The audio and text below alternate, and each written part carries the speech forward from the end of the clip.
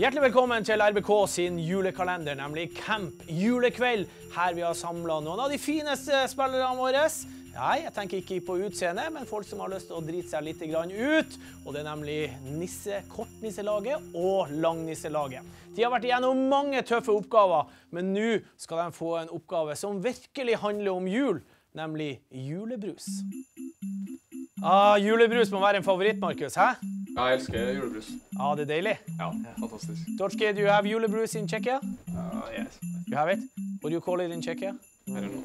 You don't know? You haven't drink it? No, you're a sports guy. You only drink water. Yeah. Yeah, exactly. Greia er her nå at to stykker på hvert lag skal da eh, prøve å få den 1,5 liter julebrus som vi har hatt oppi boll, over Du skal ikke få 1,5 liter, men prøve å fylle den flaska på fortest mulig. Dere får to muligheter på laget, sånn at eh, når den ene har kommet opp til eh, toppen av etiketten, eller starten av etiketten, så er dere ferdig. Og så spørs det, og de konkurrerer mot det andre laget. Har vi det klart?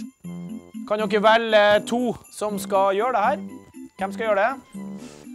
Ta guttene videre. Kortnisselaget. Jim, hvem har du valgt ut?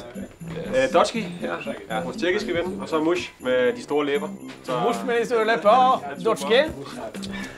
Og John with the big lips as well. Mush. And, and, og Simen, er du? Ja, det ble meget. Ja. Store lepper eller Uh, nei. andre fordeler? Jeg, jeg vil helst ikke si det. Jeg visste jo at jeg var god på det. Eh, Jeg har jo ikke gjort det før, men det ante meg at jeg var god på det. Er vi klar? OK, hendene på ryggen. Det som er spent til oppgaven her, er at egentlig begge lagene tror jeg er så glad i julebrus at det blir mer i magen enn det blir i flaska. OK, se Jævlig bra, mors! mors, vet du. Det er. Morst får det til og med, får det til og med skum, Kjører sånn nyttårsaftenopplegg. Ja. ja, kjører på og spruter på alle og rundt seg. I was thinking that it was better to to do it slowly than, for example, Mushaga because then the thing was everywhere. Ja, men se Simen vet du. Simen er langt opp. Mors eh, gjorde det jo veldig bra i starten, men han eh, gjorde den eh, elementære feilen at han spruta brusen i flaska. Bra, Simen. Litt verre med John, litt lenger ned. Bra, Du leder. Du leder, som har julebrus, men ikke vet hva det heter. Strålende, Simen. Du leder. Det ser ut som eh, mors eh, liker champagne, men der ser jeg det begynner å komme frem. Ta rolig nå. Oi, oi, oi, oi! Det er jo mitt lyspunkt i hele den konkurransen. Du er ferdig her? Ja! Der har vi eh,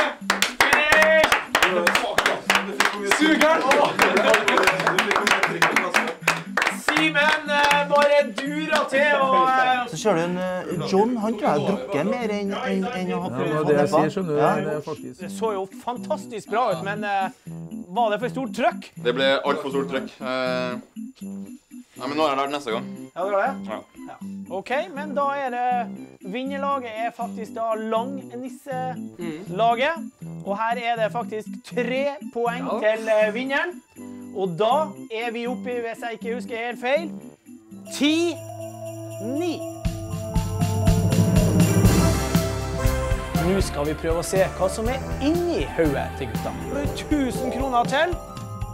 Og så legger du til 10. Hva får du da? Skriv ned. Fem sekunder.